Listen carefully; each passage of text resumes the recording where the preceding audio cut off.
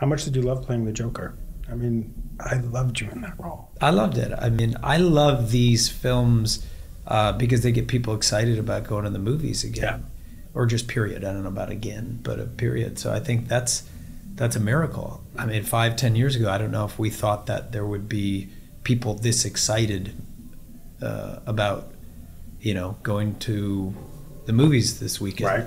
Uh, so I think that's a celebration, um, and they've created a you know mythology uh, that people love, and the actors are phenomenal. And I mean, I, I, I'm all in. I love it. I think it's a lot. It's a blast, and I think you know Hollywood's been making uh, big, fun, epic films since you know the very beginning. This isn't something uh, that's like you know.